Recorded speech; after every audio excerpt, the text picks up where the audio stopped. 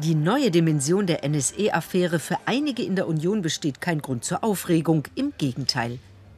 Es ist kein Thema der Politik. Die neuen Vorwürfe, die kommen, sind ein Thema zwischen der amerikanischen Regierung, der NSE und den Herstellern. Damit haben wir in Deutschland nichts zu tun und ich sehe auch keine neue Eskalation dieses Skandals.